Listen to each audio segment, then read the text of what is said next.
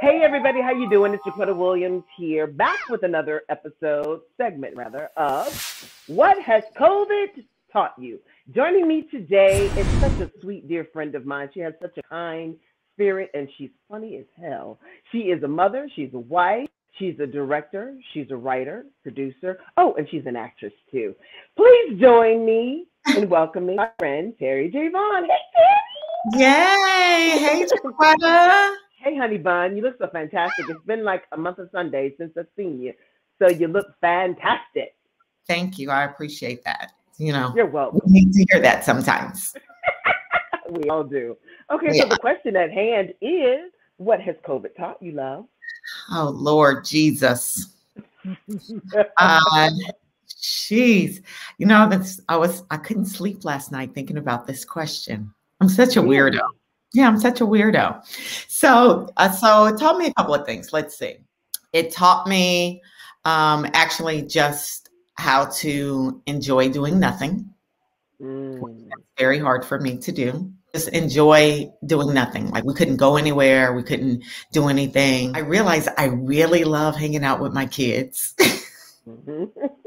I loved having them home. I was like, no, don't go to school. I, am so bad. I'm bad, bad parent. Um, but I did love that. I learned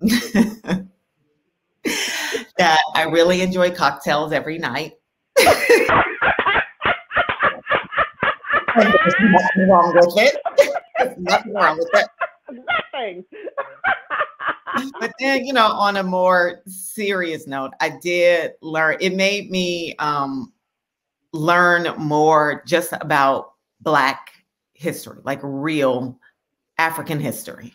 Um, started studying more. There's so many things that I did not know about our culture, about um, being African, to being African American. I started listening to Dr. Um, Henrik Clarke, whom now I'm a, he's a, a, black historian. So I listened to, to a lot of books, audio books um, by him, watched a lot of speeches, and which in turn made me learn more uh, just about me, myself. So I think that was like, that was really the, the big highlight for that time and it's just sparked so much. It sparked so much. Just learning about our how um how we worshiped as africans our spirituality. Um, i did not know that we came up with uh, um astrology. I learned about that. Um so I, I learned a lot actually. Isn't it interesting when you really delve deeply into who you are where you come from? It makes the lessons that you've learned in high school, middle school seem like, hmm, it makes you question everything that you've been taught. I oh, yeah. Absolutely. Yeah.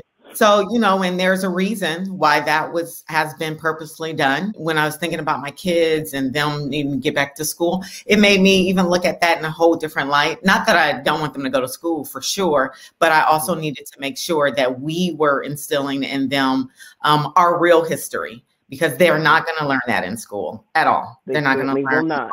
No, not at mm-hmm. all. And it made me just really think how I don't know. I mean, we have all know that this country has so many struggles, but it's it's so deeply embedded in all of us, not just black people, white people, like what we are being taught as little kids, you know. So it just that was really eye opening let's talk about the industry in which you work because I know it had to be very difficult, even though you enjoyed being with your kids, your family, your husband, and such. But you also have this amazing creative side where you write, you act, you produce, and that in some ways had to be put on hold as well. So yeah, so right before um, everything shut down for COVID, I was supposed to start directing a movie. So of course that was shut down, and I wasn't I wasn't mad about it. I really did enjoy that time off because I had been working like back to back to back to back to back.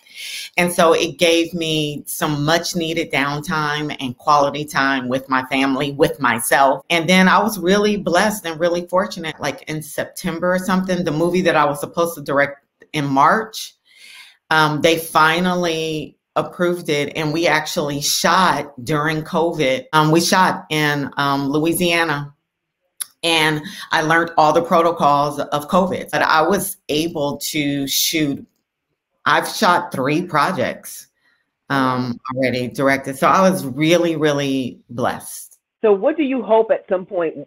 Because I think I'm going, I'm changing the narrative about when we get out of COVID because I think COVID is going to be something that once we get to life as normal, we're mm-hmm. still going to be dealing with it in some form or fashion. Right. So what do you hope that you will sustain once we move back into mm-hmm. our everyday lives? Wow, that's another good question. This is why you're so good. You're so amazing at what you do. I love it. Love you.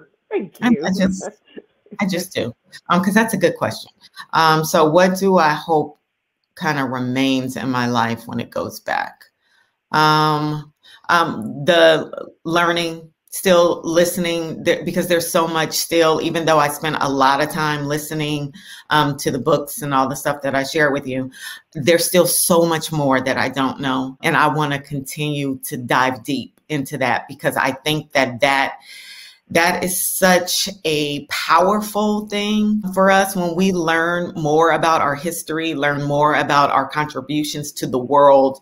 It's empowering for us. It's empowering for me, which means in, it's empowering for my kids because now I'm introducing them and making sure they know all these things. Um, so that is what I I plan to continue to do. Like this, the flame has been lit, so it's that's not going to go out. I'm going to keep doing that. What has your relationship been like with your kids and with your husband since you all, even though you were working, you're still spending, I'm sure, much more time in mm-hmm. one space together? I'm not. I loved it. I'm not gonna lie. It's like I love it. I, I, mean, I'm you know, I I love I love my life. I love that I have these two things that I'm super passionate about, which is my career and my my family. It's like mm-hmm. I love spending time with them and being up under them. I don't want to do all the stuff that they want to do. I just like being here with them. Like Lola likes to jump on the trampoline all the time. I can't do that. I'm not. I'm not doing that on these 50 year old knees. I can't do that. uh, so you know, I can't. I, I'm not doing that. But I do. I do love. It was good for me. It was good, and I know like it was an eye opening time for a lot of people in relationships. Yeah. And so oh yeah. Either stronger or some actually went away because I've heard dissolved. Yeah, they've tested. Yeah. They've been tested. Yeah. I think we did really well. We actually enjoyed the time. Well, like I said, we were having cocktail hour. We were like, it's four. Let's go. cocktail hour. do you still do in the bathroom with Terri? I haven't done that. I haven't oh, done that. Really? You know, you know what what kind of well, for one thing, I'm trying to do something on a bigger scale with it. So I just kind of felt like, let me calm down on this part of it. But the other thing is when I was doing it and, and during the pandemic, because I was still doing it at the top of the pandemic, there was a time during the pandemic where I got super sad. And it wasn't about the pandemic itself, it was all the racial stuff that was going on in our world. Mm-hmm. And it just, I was just so sad. Floyd stuff and Breonna it was it got really heavy because you know all of us would, were trying to do our parts and we were all on social media. We were making our voices heard. We kept pumping out their their names and black lives matter and we were just mm-hmm. in it in it in it.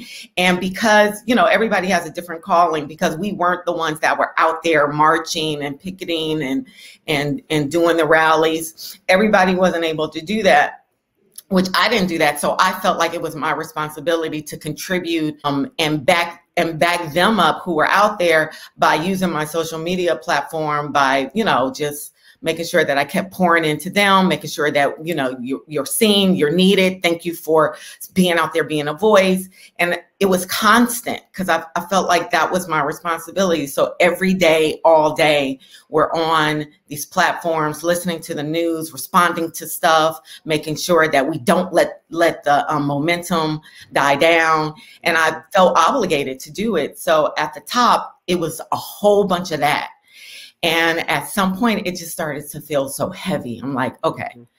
uh, let me take a break.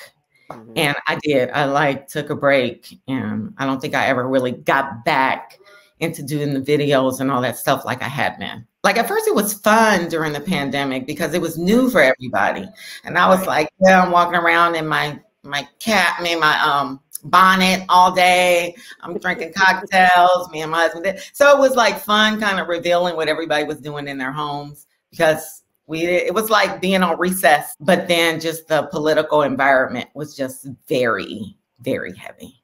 It's just trauma, and we we as yes. people are constantly yes. trauma and re-traumatized, yes. and then traumatized again. So we have to find a way to escape from the trauma, only to be, you know, put right back into it. So I get yeah. I get completely what you're saying yeah. and what happens with us as a people, as a country, yeah. as we move forward. Terri J. Vaughn, thank you so much for being a part of What Has COVID Taught You. I appreciate you. I love you. You want to tell me the name of the movie or is that secret secret or I love you too. No, it's not a secret. But um so I and it should be coming out. I actually directed two Christmas movies um, that should be released um, this coming Christmas. One is called Soul Santa. Um, that will be on BET, and the other one was a um, independently shot Christmas movie called Merry Switchmas, which is so cute. It's about these two kids that have never met each other. They've only played video games against each other, so they've only talked virtually, and something goes kinky with their their video games and they end up switching bodies. So they wake up in each other's home. So it's it's a real fun, like a Home Alone meets Freaky Friday type of uh-huh. movie. So I'm excited about that one too. We will definitely be looking forward to those. Terri J. Vaughn, thank you so much, honey. I love you so much. I love you too, JaQuitta. Thank you.